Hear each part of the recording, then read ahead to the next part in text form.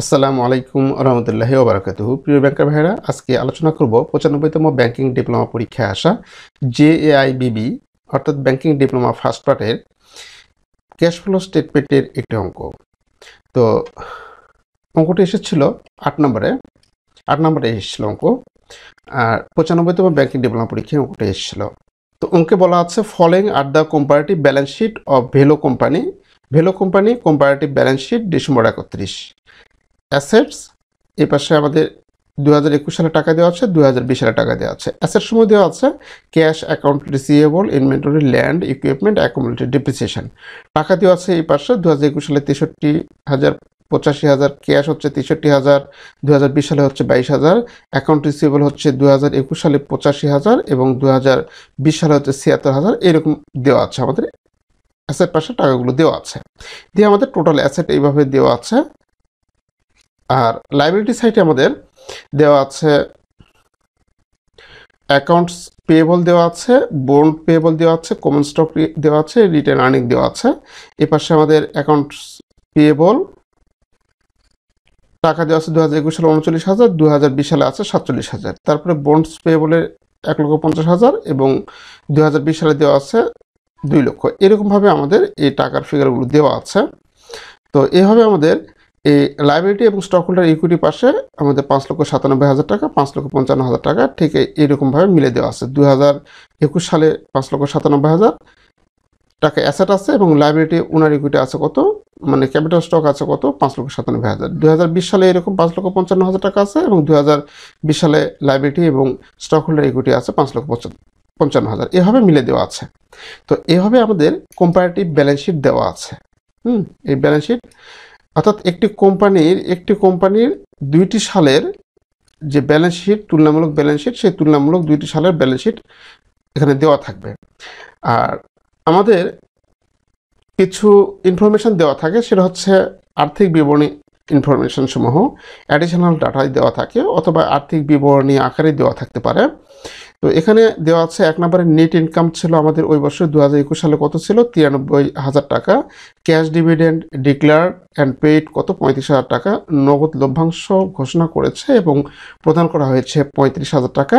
Bonds payable redeemed for cash at the book value তিন নম্বর আছে bonds payable are redeemed for cash at the book value আমাদের যে bond পেয়েবলটা bond পেয়েবলটা যেটা মেয়াদ পূর্ণ হয়ে গেছে সে মেয়াদ পূর্ণতে আমরা বন্ড পেয়েবলের টাকাটা বুক ভ্যালুতে পরিশোধ করেছি। অর্থাৎ বুক ভ্যালুতে বলতে এখানে আমাদের বইতে যেটা লেখা আছে, আমাদের দুই হাজার বিশ সালে বন্ড ছিল দু হাজার বিশ সালে বন্ড ছিল দুই লক্ষ টাকা দুই হাজার একুশ সালে বন্ড হয়ে গেছে এক লক্ষ পঞ্চাশ হাজার টাকা। অর্থাৎ দায় ছিল দুই লাখ, দায় কমে হয়ে গেছে এক লাখ পঞ্চাশ। তার মানে পঞ্চাশ হাজার টাকা দায় কমে গেছে। এর অর্থ হচ্ছে আমাদের বইয়ের মূল্য কত হচ্ছে? পঞ্চাশ হাজার টাকা ম্যানেজ করলে। এই পঞ্চাশ হাজার টাকা আমরা ক্যাশে প্রদান করেছি। আমরা এই পঞ্চাশ হাজার টাকা ক্যাশে প্রদান করেছি, যার কারণে আমাদের দায়টা কমে গিয়েছে। সেই কথাটা এখানে বলা আছে। তারপরে বলা আছে common stock are issue at par for cash common stock আমাদের যে ইস্যু করা হয়েছে, এটা আমাদের ক্যাশে ইস্যু করা হয়েছে। Land was sold at cost আমাদের ল্যান্ডটা আমাদের বিক্রি করা হয়েছে ক্রয় মূল্যে। আমাদের যে এখানে ল্যান্ডের যে পার্থক্য থাকবে, সে ল্যান্ডের যে পার্থক্য থাকবে সেই ল্যান্ডের পার্থক্যটা কস্টে আমরা সেটা সোল্ড করেছি। আমাদের ক্রয় মূল্য যেটা, সেটাতে আমরা সোল্ড করেছি। আমাদের যেটা কেনা ছিল, আমাদের এখানে বই মূল্য যেটা থাকবে, সেটাতে আমরা বিক্রি করেছি। কোনো লাভে বিক্রি করি নাই। আচ্ছা এর প্রেক্ষিতে আপনাকে করতে বলছে ইনস্ট্রাকশন বলছে যে prepare a statement of cash flow for দু হাজার একুশ using indirect method. Indirect method ব্যবহার করে আপনাকে ক্যাশ ফ্লো স্টেটমেন্ট তৈরি করতে হবে and compute free cash flow এবং আপনাকে মুক্ত ক্যাশ ফ্লো গণনা করতে হবে। তো প্রথমে আমরা ক্যাশ ফ্লো স্টেটমেন্ট দেখব। তো ক্যাশ ফ্লো স্টেটমেন্টে আমরা যখন এই অঙ্ক করব, তখন এই ক্যাশ ফ্লো স্টেটমেন্টে আমরা এভাবে কোম্পানির নাম ধরে লিখব।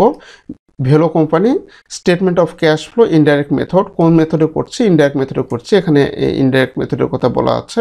তো সেই ইনডাইরেক্ট মেথডটা এখানে উল্লেখ করব আমরা ফর দ্য ইয়ার ইন্ডেড একত্রিশে ডিসেম্বর, অর্থাৎ ডিসেম্বর একত্রিশ দু হাজার একুশ। লেখে এরকমভাবে ঘর দেখাবো পার্টিকুলার টাকা টাকা। আচ্ছা এখন আমরা এখানে প্রথমে লিখব ক্যাশ ফ্লো ফ্রম এই যে cash flow from cash flow from operating activities তো এখানে অ্যাক্টিভিটিস তিনটে অ্যাক্টিভিটিস আমাদের আছে।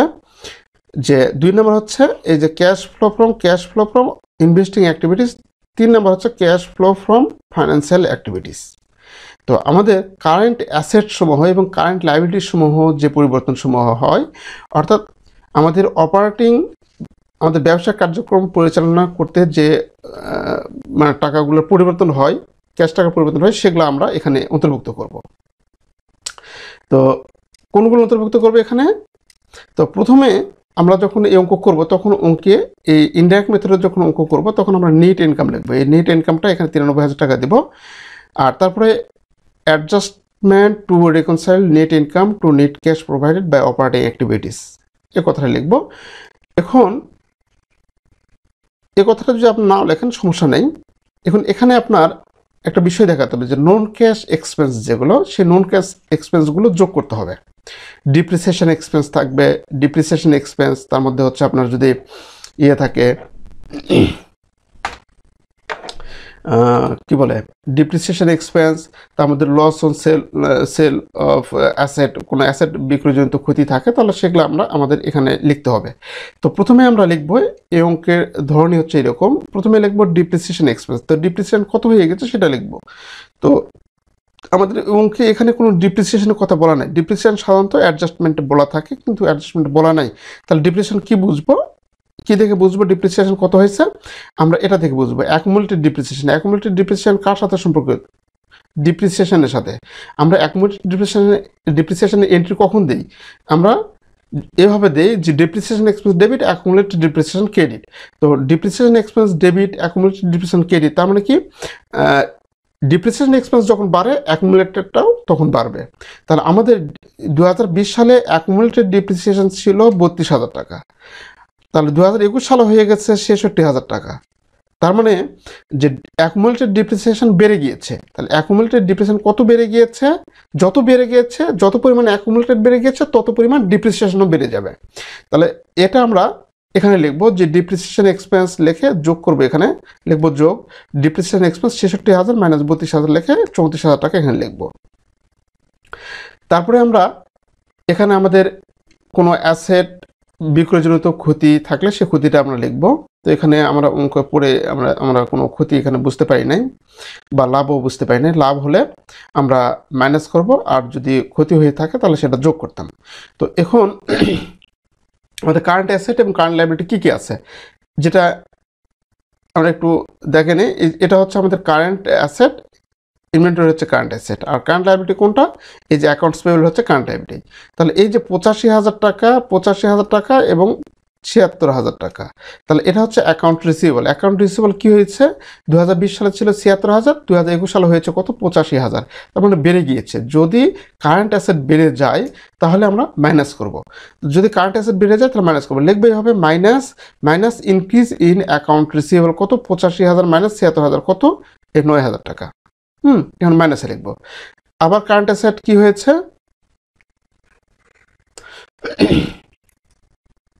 ইনভেন্টরি আছে। তো ইনভেন্টরি কি হয়েছে?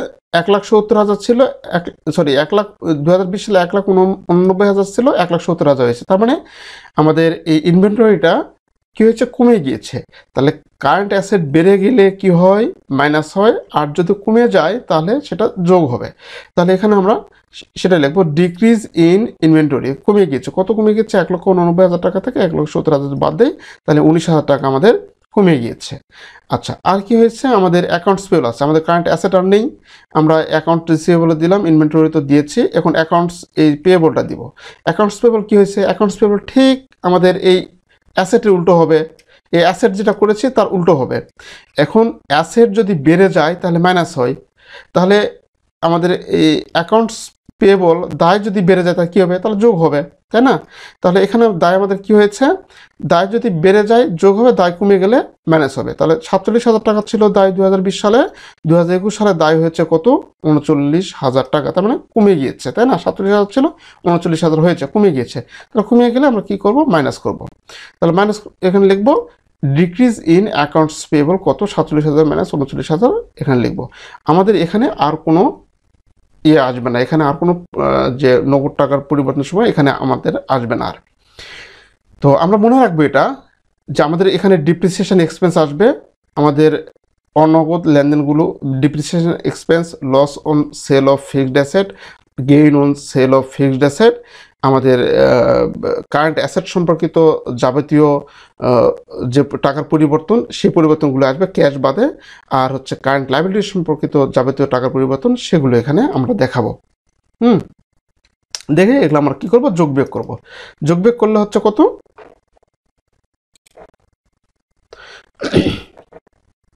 এটা যদি আমরা যোগ করি, তাহলে এটা যোগ করলে আমরা পাচ্ছি কত? ছত্রিশ হাজার টাকা। সবগুলো যদি যোগ করে, চৌত্রিশ হাজারের সাথে নয় হাজার মাইনাস করব, উনিশ হাজার যোগ করব, আর আট হাজার বাদ দেবো। বাদ দিলে আমরা কত পাবো? ছত্রিশ হাজার টাকা। এই ছত্রিশ হাজার আমরা কি করব? এই তিরানব্বই হাজার টাকা যেটা নেট ইনকাম আমরা লিখেছি নেট ইনকাম কই পেয়েছি? এই যে এখানে নেট ইনকাম অঙ্কে দেওয়া আছে, এই যে তিরানব্বই হাজার টাকা, এই নেট ইনকাম আমাদের প্রথমে লিখতে হবে ইনডাইরেক্ট মেথডে তাহলে তিরানব্বই হাজার টাকা এবং এই ছত্রিশ হাজার টাকা, এই ছত্রিশ হাজার টাকার নাম হচ্ছে কি? নিট ক্যাশ মানে এটা আমরা অপারেটিং অ্যাক্টিভিটিস থেকে আমরা পেয়েছি। তাই এদের যোগ করলে এক লক্ষ উনত্রিশ হাজার টাকা। এই এক লক্ষ উনত্রিশ হাজার টাকা না হচ্ছে net cash provided by operating activities. Net cash provided by operating activities. এই যে অপারেটিং অ্যাক্টিভিটিস, এই অপারেটিং অ্যাক্টিভিটিস থেকে নিট ক্যাশ প্রোভাইডেড হচ্ছে কত? এক লক্ষ উনত্রিশ হাজার টাকা। এখন আমাদের দুই নম্বরে দেখব যে net cash cash flow from investing activities. আমরা কত টাকা বিনিয়োগ করেছি, সে বিনিয়োগের অংশটুকু আমরা বিক্রি করেছি, টাকা পাইছি না আমরা বিনিয়োগটা করছি মানে আমাদের কাছ থেকে টাকা চলে গিয়েছে, সেটা আমরা দেবো। অর্থাৎ কোনো স্থায়ী সম্পত্তি যদি আমরা ক্রয় করি, কোনো স্থায়ী সম্পত্তি যদি আমরা ক্রয় করি, তাহলে টাকা চলে যাবে, তার মানে এটা ম্যানেজ করতে হবে, আর কোনো স্থায়ী সম্পত্তি যদি বিক্রয় করি, তাহলে টাকা আমাদের আসবে। তাহলে টাকা আসলে এটা কী করব আমরা যোগ করব। তাহলে এখানে আমাদের প্রথমে বলা আছে, স্থায়ী সম্পত্তি কি এখানে আদার ইনফরমেশন বলা আছে যে ল্যান্ডের কথা বলা আছে, পাঁচ number land was sold at cost land বিক্রি করেছি আমরা ক্রয় মূল্যে। তাহলে ল্যান্ড আমাদের ছিল কত? ল্যান্ড ছিল, একটু খেয়াল করুন ল্যান্ড ছিল হচ্ছে এক লক্ষ টাকা। ল্যান্ড ছিল দু হাজার বিশ সালে। এখন ল্যান্ড কমে গিয়েছে কত? পঁচাত্তর কমে হয়েছে পঁচাত্তর হাজার টাকা। তাহলে কমে গিয়েছে কত? মাইনাস করলে হবে এক লক্ষ থেকে পঁচাত্তর হাজার মাইনাস করে পঁচিশ হাজার টাকা ল্যান্ড কমে গিয়েছে। ল্যান্ড কমে গেছে এটা কি মানুষ চুরি করে নিয়েছে? না। এটা আমরা বিক্রি করেছি। ল্যান্ড তো আর চুরি করতে পারব না। তাহলে এটা আমরা বিক্রি করেছি। ল্যান্ড বা কোনো স্থায়ী সম্পত্তি যখন কমে গিয়েছে তখন বুঝব যে এটা আমরা বিক্রি করেছি। তাহলে বিক্রি করলে তাহলে এটা হবে কি? এটা আমরা এভাবে লিখব যে পার্সেস অফ সরি সেল এই টাকাটা বিক্রি, যখনই বিক্রি করব তখন এই টাকাটা আমাদের কাছে চলে আসছে। তাহলে চলে আসলে কি হবে? চলে আসলে এই টাকাটা হয়ে যাবে, আমরা আমাদের টাকাটা বেড়ে যাবে। তাহলে এখানে লিখব সেল অফ ল্যান্ড কত টাকা সেল অফ ল্যান্ড করেছি? পঁচিশ হাজার টাকা। সেটা পঁচিশ হাজার কেমন পাইলাম? এভাবে পাইলাম। এক লক্ষ মাইনাস সেভেন্টি ফাইভ থাউজেন্ড কত? পঁচিশ হাজার। এভাবে পেয়েছি আমরা। আচ্ছা আর কি হয়েছে? আর আমরা ইকুইপমেন্ট একটু খেয়াল করে দেখুন।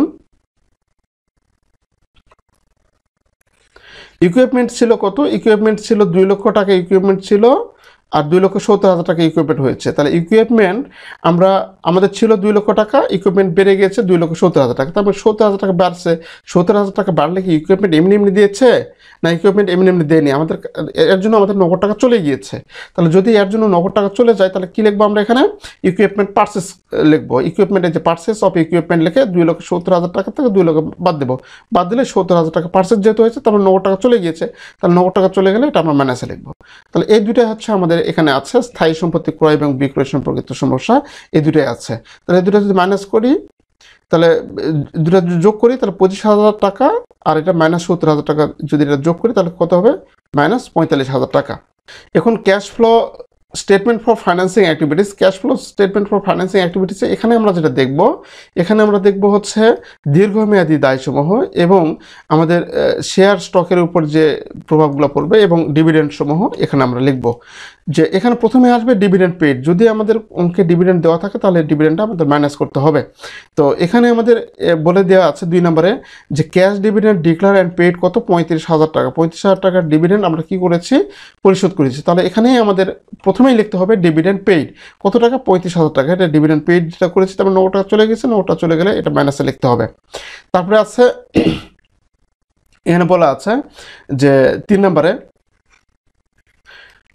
তিন নম্বরে বলা আছে বন্ড পেয়েবল ওয়ার রেডেম এখানে বন্ড পেয়েবলের যেটা আমরা পরিশোধ করেছি, আমাদের মেয়াদপুতিতে পরিশোধ করেছি কিসে? ক্যাশে তাহলে বন্ড পেয়েবল কত আছে এখানে? বন্ড পেয়েবল ছিল দুই লাখ বন্ড পেয়েবল ছিল দুই লাখ, ও হয়েছে এক লাখ পঞ্চাশ। তার মানে পঞ্চাশ হাজার টাকা কমে গেছে। দায় দায় কমে যায় কখন? যখন টাকাটা পরিশোধ করি, তাই না?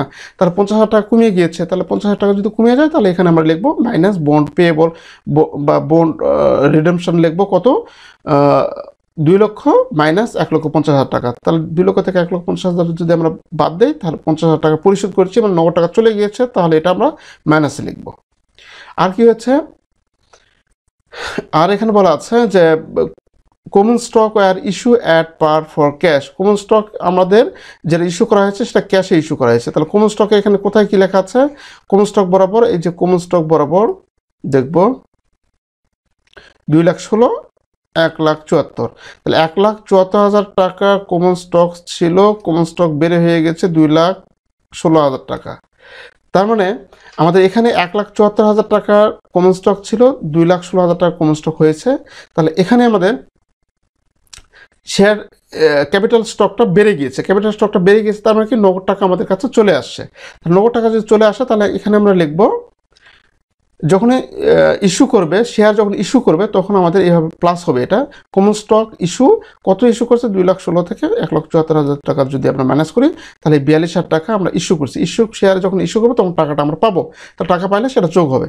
তাহলে এখানে এই তিনটে আছে এবং এগুলাই আমরা লিখব। প্রথমে আসবে ডিভিডেন্ড পেইড তারপরে যদি বন্ড সম্বন্ধে দীর্ঘমেয়াদী দায় যেগুলো আছে সেগুলোর সম্বন্ধে কোনো কথা বলা থাকলে সেখানে লিখব। আর কমন স্টক সম্বন্ধে কোনো কিছু বলা থাকলে সেটা আমরা লিখব এখানে। আচ্ছা লেখার পর আমরা এগুলো সবগুলো যোগ করব। যোগ করলে আমরা কি কত পাবো? মাইনাস তেতাল্লিশ হাজার টাকা। তাহলে মাইনাস তেতাল্লিশ হাজার টাকা আমরা পাচ্ছি। তাহলে আমাদের এখানে net cash provided by operating activities থেকে পাইলাম কত? এক লাখ উনত্রিশ। আর এদিকে আমরা ইনভেস্টিং অ্যাক্টিভিটিস থেকে পাইলাম মাইনাস পঁয়তাল্লিশ হাজার টাকা। যখন মাইনাস থাকবে তখন কিন্তু আমাদের নেট ক্যাশ ইউজড লিখতে হবে। Net cash used by investing activities আর এখানেও আমাদের এই তেতাল্লিশ হাজার টাকা যেহেতু মাইনাস মাইনাসটা কোনটার কথা বলতেছি আমি? এটার কথা বলতেছি। আপনাদের টাকার ফিগার যখন মাইনাস হবে এখানে এ- এই যে ইনভেস্টিং অ্যাক্টিভিটিসের যে আমরা যোগ বিয়োগ করলাম, যোগ বিয়োগের যে মাইনাস ফিগারে যেটা আছে পঁয়তাল্লিশ হাজার, এটা যে মাইনাস ফিগার থাকে, তাহলে এই ইউজড কথাটা লিখতে হবে। যেমন এখানে মাইনাস ফিগারে আছে এখানে তেতাল্লিশ হাজার মাইনাস ফিগার আছে, তাহলে এখানে আমরা ইউজড কথাটা লিখব। Net cash used by financing activities কত? তেতাল্লিশ হাজার। তাহলে আমাদের এই কলামে সবগুলো যোগ করব। এই যে উনত্রিশ হাজার, এক লক্ষ উনত্রিশ হাজার যেটা আছে, এই এক লক্ষ উনত্রিশ হাজার এক লক্ষ উনত্রিশ হাজার, তারপরে আছে তেতাল্লিশ হাজার, তারপরে আছে সরি এক লক্ষ উনত্রিশ হাজার, তারপরে আছে পঁয়তাল্লিশ হাজার, তারপরে আছে তেতাল্লিশ হাজার। এই সবগুলো যোগ করব। তাহলে সবগুলো যদি আমরা যোগ করি, সবগুলো যোগ করে পাবো কত? এই যে আছে, একচল্লিশ হাজার টাকা পাবো। সবগুলো যোগ করি। এ প্লাস এক লক্ষ উনত্রিশ হাজার প্লাস এক লক্ষ উনত্রিশ হাজার, এর সাথে আমরা কি করব, এটা যোগ করব মাইনাস পঁয়তাল্লিশ হাজার মাইনাস তেতাল্লিশ হাজার। যোগ করলে একচল্লিশ হাজার টাকা হয়। এটা হচ্ছে net cash increase in cash net increase in cash net increase in cash এটা হবে কত? একচল্লিশ হাজার টাকা। এখন আমাদের এই যে একচল্লিশ হাজার টাকা যেটা পেলাম, এর সঙ্গে ওপেনিং ক্যাশ ব্যালেন্স যদি আমরা যোগ করি ওপেনিং ক্যাশ ব্যালেন্সটা কই পাবো? ওপেনিং ক্যাশ ব্যালেন্সটা আমরা এই যে এখানে পাবো। এই যে এখানে ক্যাশ ক্যাশ দেওয়া আছে। এই দু হাজার বিশ সালে যেটা আছে, সেটা হচ্ছে ওপেনিং আর দু হাজার বাইশ সালে সরি দু হাজার একুশ সালে যেটা আছে, সেটা হচ্ছে ক্লোজিং তাহলে দু হাজার বিশ সালেটা ওপেনিং দু হাজার একুশ সালেটা হচ্ছে ক্লোজিং দু হাজার বিশ সালেটা ওপেনিং দু হাজার একুশ সালেটা হচ্ছে ক্লোজিং তাহলে ওপেনিংটা যদি আমরা যোগ করি মানে বাইশ হাজার টাকা যদি যোগ করি, তাহলে ক্লোজিংয়ের সাথে মিলে যাবে। তাহলে ওপেনিং ক্যাশ ব্যালেন্স কত? বাইশ হাজার টাকা যদি যোগ করি, তাহলে তেষট্টি হাজার টাকা ক্লোজিংয়ের সাথে ক্লোজিং ক্যাশ ব্যালেন্সের সাথে মিলে যাবে। ক্লোজিং ক্যাশ ব্যালেন্স কোনটা? এই যে দু হাজার একুশ সালে যে তেষট্টি হাজার টাকা এর সাথে মিলে যাবে। যদি মিলে যায়, তাহলে বুঝব যে অঙ্ক হয়েছে, না হলে বুঝব যে অঙ্ক কোনো জায়গায় ভুল হয়েছে। তো এইভাবে এটা আমরা দুইটা টান্দে ক্লোজ করে দিব। আচ্ছা এইগুলো আমাদের ক্যাশ ফ্লো স্টেটমেন্ট ইনডাইরেক্ট মেথডে, হুম এটা হচ্ছে আমাদের ইনডাইরেক্ট মেথডে। ইনডাইরেক্ট মেথডে এটা ক্যাশ ফ্লো স্টেটমেন্ট। এখন আমাদের আরেকটি রিকোয়ারমেন্ট করতে বলছে, সেটা হচ্ছে এই যে, দেখুন, একটু খেয়াল করুন। কম্পিউট ফ্রি ক্যাশ ফ্লো তাহলে আমাদের মুক্ত ক্যাশ ফ্লো গণনা করতে হবে। মুক্ত ক্যাশ ফ্লো গণনা কেমনে করব? এখানে একটা সূত্র আছে। Free cash flow free cash flow সমান সমান net cash provided by operating activities অর্থাৎ অপারেটিং অ্যাক্টিভিটিস থেকে যেটা পাবো অপারেটিং অ্যাক্টিভিটিস থেকে যে টাকাটা আমরা পাইছি, সে, সেখান থেকে আমরা কী করব? ক্যাপিটাল এক্সপেন্ডিচার আমরা বাদ দেবো। ক্যাপিটাল এক্সপেন্ডিচার কি? স্থায়ী সম্পত্তি ক্রয়গুলো যেগুলো করেছি, সেই, ক্রয় সম্পর্কিত যে টাকাটা চলে গিয়েছে, সে টাকাটা আমরা ম্যানেজ করব। আর কি ম্যানেজ করব? আবার ডিভিডেন্ড ম্যানেজ করব। এটা হচ্ছে সূত্র। তাহলে নিট ক্যাশ প্রোভাইডেড বাই এখানে আমাদের দেখছি যে অপারেটিং অ্যাক্টিভিটিস সেই যে অপারেটিং অ্যাক্টিভিটিসে অপারেটিং অ্যাক্টিভিটিসে নেট ক্যাশ প্রোভাইডেড হয়েছে কত? আমরা হচ্ছে পাইছে কত? এক লাখ উনত্রিশ হাজার টাকা। নেট ক্যাশ প্রোভাইড বাই এক লাখ উনত্রিশ হাজার টাকা। এই এক লাখ উনত্রিশ হাজার টাকা থেকে আমাদের এই যে স্থায়ী, আমাদের ক্যাপিটাল এক্সপেন্ডিচার যেটা আছে প্লান্ট অ্যান্ড ইকুইপমেন্ট পার্সেস শুধু পার্সেসের টাকাটা বাদ দেবো। পার্সেস করছে কত এই যেখানে দেওয়া আছে পার্সেস কত করছে? সত্তর হাজার। সত্তর হাজার বাদ দেবো। আর কি বাদ দেবো? এই যে ডিভিডেন্ড বাদ দেবো। ডিভিডেন্ড কত? পঁয়ত্রিশ হাজার টাকা এটা বাদ দেবো। তাহলে সেটাই এখানে লিখেছি যে নিট ক্যাশ অপারেটিং অ্যাক্টিভিটিসের যে টাকাটা, সেটা এক লাখ উনত্রিশ হাজার টাকা।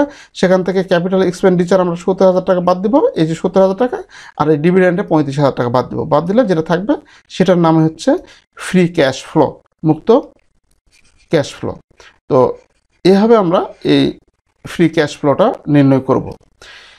আর এই অঙ্কটা আমরা এইভাবে শেষ করব। তো প্রিয় ব্যাংকের ভাইরা আজকে এ পর্যন্তই। আগামী দিন নয় নম্বর কোশ্চেন নিয়ে আলোচনা হবে ইনশাল্লাহ তো সবাই ভালো থাকুন, সুস্থ থাকুন। আমার জন্য দোয়া করবেন। আল্লাহ হাফিজ।